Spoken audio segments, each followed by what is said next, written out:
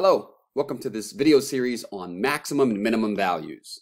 We're going to look at what it takes to be a maximum and minimum, what are the different types of maximum and minimums, and hopefully by the end you'll have a better grasp of it. My name is Nakia Rimmer. I'm going to lead you through this journey. Let's start off with definitions. First up, we're going to have a function f, and we're going to have the definition of what it means to be the absolute maximum value of the function. Okay. Now it's going to occur at an x value called c, and then you plug that c into the function and you get the f of c. The y value is the maximum value, the absolute maximum value, if it's bigger than every other y value for all the x's in the domain of the function. The best way to say this is basically it's the biggest the function ever gets.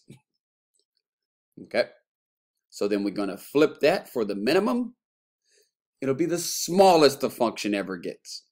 The f of c, the y value, is less than or equal to the f of x for all other x in the domain.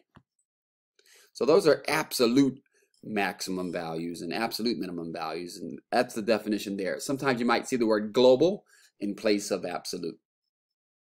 All right, what about the other type though? Local max and local min. Now the local maximum value is going to be the biggest that the function ever gets, but only in a small interval. It's very important that we have this open interval that um, we can say in this neighborhood, in this in this small neighborhood around this x equals c value, the f of c is the biggest that the function ever gets. And so open neighborhood means you can either go both ways, left and right, and not contain the endpoints. And so it's it's basically a peak. A little a little a little small maximum. Maybe not the biggest maximum, not the absolute maximum, but a local maximum, locally. It's the biggest it ever gets. Or locally, it's the smallest the function ever gets. It's a valley. That's what a local minimum value is. Okay. So um, Mount Everest is the the biggest peak in the United States. That's the abs the, the summit of Mount Everest is the absolute maximum value.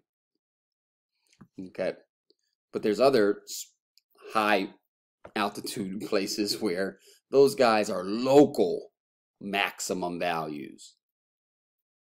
Okay, but you know we're going to take a look at a graph. Enough of these definitions. Let's go to a graph. So scribble scrabble function. We're going to label some points on here. Let's first look at the important x values. I'm going to mark them off, give them some numbers, and their associated y values. All right. So first up we have at x equals negative 3, a local maximum value. It's a peak. The actual value is equal to 4, it occurs at x equals negative 3. All right, great. At x equals negative 2, we have a local minimum value.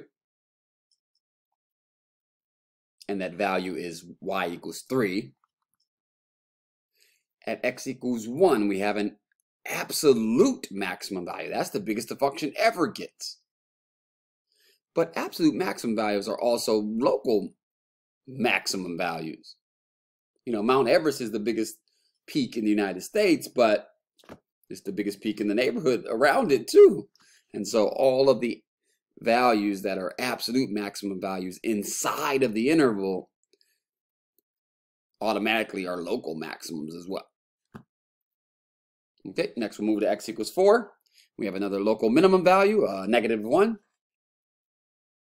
And then what's happening at 5 is kind of strange. Uh, the function is smooth up until that particular point there. We have this sharp point at 5. But that's okay. We're going to find out that that's even a possibility for a local, it's a peak, right? So it's a local maximum value. Okay. And what's the smallest value that the function ever gets? It occurs at the end point at x equals 6. So the domain of this function is from negative 4 to 6. Okay. And so we have uh, an absolute maximum value or an absolute minimum value can occur at the endpoints. But when it comes to a local maximum value or a local minimum value, they cannot occur at the endpoints. You need an open interval. You need to be able to peek on both sides and see and make sure it's the lowest or see and make sure that it's the biggest. And therefore, local minimums cannot occur at the endpoints. The absolute can, for sure, but the locals can't. All right, you can extend the definition to be that for sure, but for now, though, our definition doesn't allow for that. Okay, and then lastly, whenever you have an absolute maximum or absolute minimum inside, guarantee that it's going to be also a local. All right, great. So now we got all the definitions out the way, and we got a good graph. We understand kind of what's going on. Uh, we want to do is uh, find out what we got to do to find these. If I have a graph, I can find it, but what if I just have a function? All right, so let's take a look at that in the next video. Thank you for watching. My name is Nakia Rimmer. Um, stay tuned for the next video. The link will be down in the description.